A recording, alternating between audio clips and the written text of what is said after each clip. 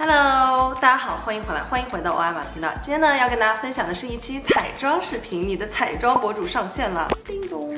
前阵子呢，因为我出差旅游比较多，所以基本上整个频道都是充斥着各种各样的 vlog。最近呢，我准备收一收心，然后回到彩妆护肤一点点。开学季了，找了一些我觉得比较好用以及基础一些的单品。那开始今天视频。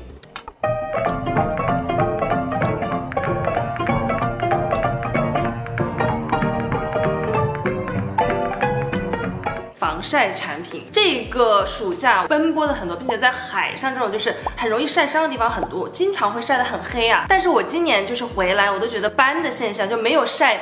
坏皮肤，我这次要给大家推荐的三瓶全部都是 SPF 五十，因为我不确定你们那个地方会不会非常的 lucky，就是十一、十二月份都还是有大太阳那种。SPF 指数呢，就是尽量高一点，这样你补的可以少一点点。三瓶防晒呢，打在了不同的点上，听我一一给你们分析。如果你是一个喜欢化妆的一个女生，然后你上学喜欢啊有一些较为厚重的底妆的话，你需要一个这样子妆前类的防防晒，用 Darphin 这支，长这样子的粉红色的，有点类似于一个涂改液的样子，摇匀。不摇匀的话，它比较。容易斑驳，就是后续没有办法把你的妆持太久。如果我要上底妆的话，对我来说，我可以把它用作防晒妆前二合一。油皮的话，可以用粉饼加上喷雾，整个妆容定的比较久了。打开以后呢，它是这样子的，完全是涂改液的样子哈。它的质地是我们今天这三瓶里面稍微硬一点点，有一点点润色效果，比较有光泽感的，但是不油，就是它是那种干干硬硬硬的质地，所以油皮不会觉得难受。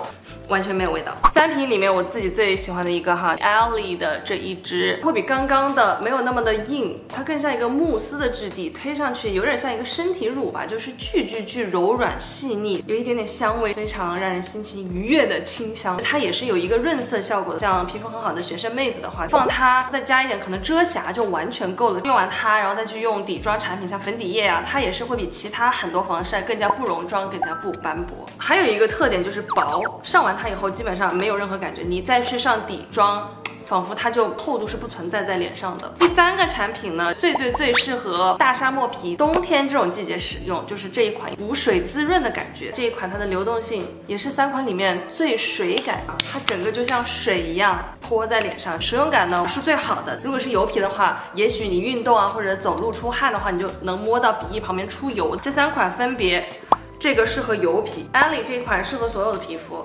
黛珂适合干皮。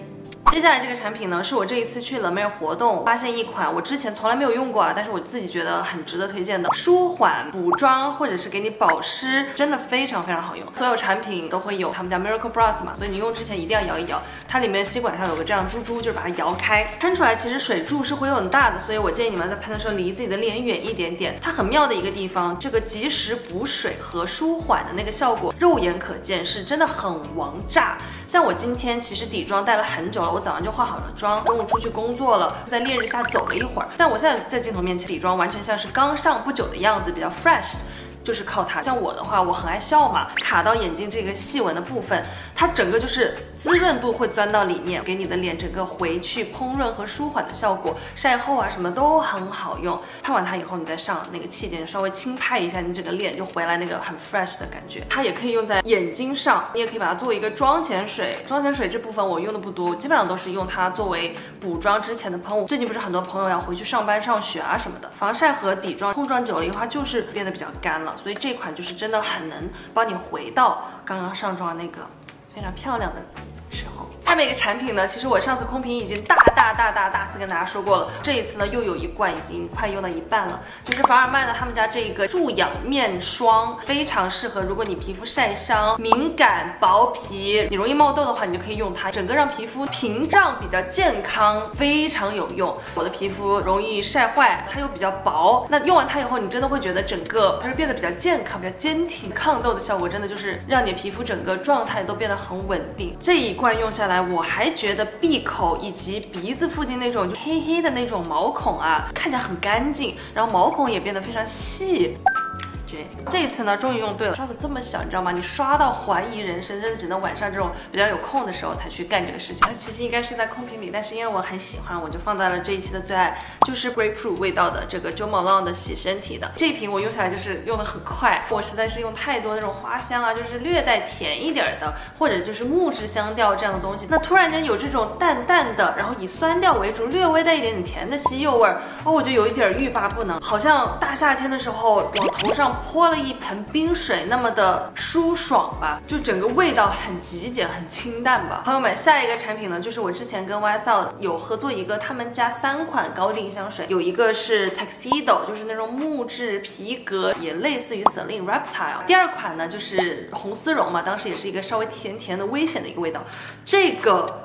我没有想过我会这么这么喜欢它，应该是我的心里的第三名，但没想到现在已经荣升到第一名了。就是它越喷越上瘾。如果你和我一样不喜欢玫瑰味，你会觉得小女人小家子气太优雅。这款玫瑰给你一种非常清新、清冷、大气的感觉。它前调其实也是稍微有一点点辛辣的，就是有柠檬和粉红胡椒，所以说呢，也让它这个玫瑰呢不是像普通的玫瑰味那么的单调和单薄。早上有雨露在那种非常大颗大朵的玫瑰上，然后。你这么揉碎那个叶子，饱满的汁慢慢掉在地上，无敌新鲜的一个味道。然后它除了玫瑰的那个清香以外，它又综合了那个白芷的清冷、有点苦的味道吧。所以整个我觉得调调比起普通的玫瑰调更有层次，并且更大气的一个感觉。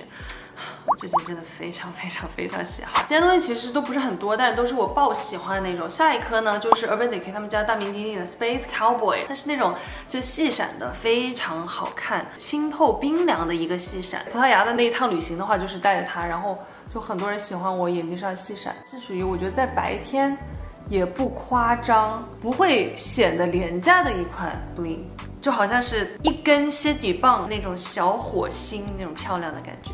它这个膏体，我觉得很妙的地方就是跟你指尖的温度粘合的太紧密了，完全没有那种颗粒感以及往下掉这样子的一个动作哈，细密的在你的眼皮上待着，不管你眼皮的底色是什么，就是搭配上去这种淡淡的香槟色都非常好看。再是三个腮红，上次也是 Pack with me 的时候跟大家浅聊了一下，现在深度跟大家聊一下 Chanel 的这个非常漂亮一个光泽感的液体腮红，我当时推荐的颜色叫做。Warm Rose，它是一个比较暖调的玫瑰色调，在脸上是属于那种比较嫩，就是比较娇羞少女感。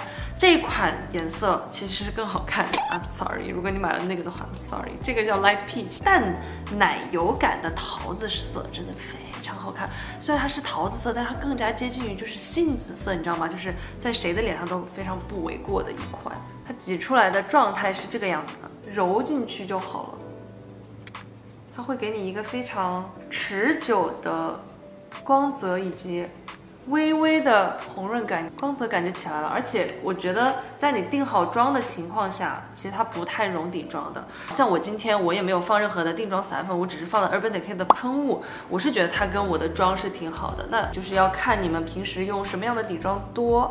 而且我很喜欢它的那个光泽感。我在葡萄牙的时候用的非常非常多，就这款，因为它是这样子揉上去的一个质地，所以其实在外面很久，它那个颜色以及光泽感都挺在的。这个颜色呢，我比较喜欢，因为。它是杏子色，然后偏暖调，所以它这种橘调的腮红会让皮肤整个状态看起来很元气，很元气。高光腮红二合一，我现在都不会单用高光哎。Laura Mercier 的这一款 Peach Shimmer 也是这种淡淡的杏子色，会比刚刚我们选到这款更少的颜色。然后更多的光泽度，这个颜色呢也是我觉得非常好看的。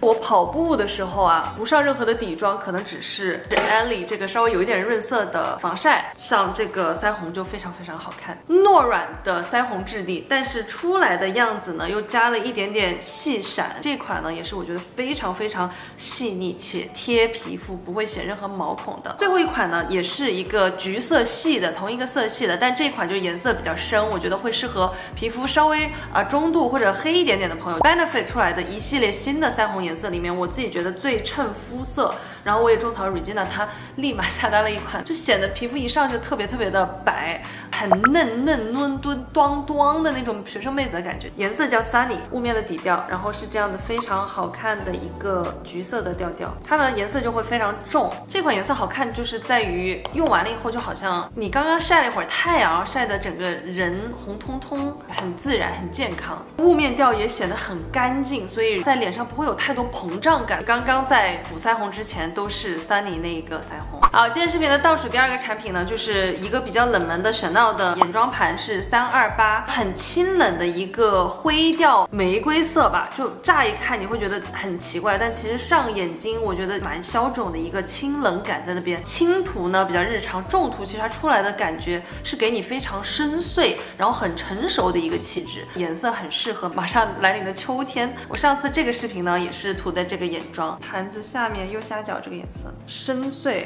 又很有气质，因为我最近头发也是这种灰调的，我觉得就是搭在一起还挺好看的。如果你换一颗隐形眼镜的话，它可以出来比较灰调的混血感、轻混血感那种。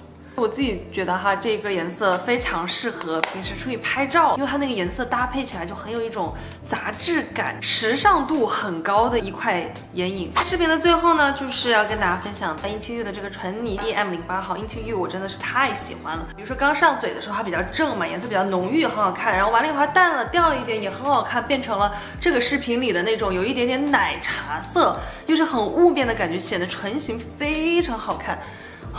但它这个刷子我觉得很好刷哎，就一下子就能刷的非常的规整，也不太需要其他的工具。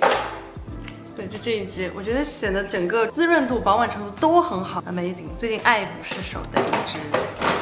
那以上呢，就今天跟大家分享的八月最爱的所有内容，希望大家喜欢这个视频。啊，如果喜欢的话，可以在旁边点赞。那如果呢，你想关注一些更快的，平时也会分享的一些彩妆，可以关注我的小红书。对我小红书最近非常的 active，非常的活跃哈，经常会分享一些有的没的。那感谢大家收看，我们下期视频再见。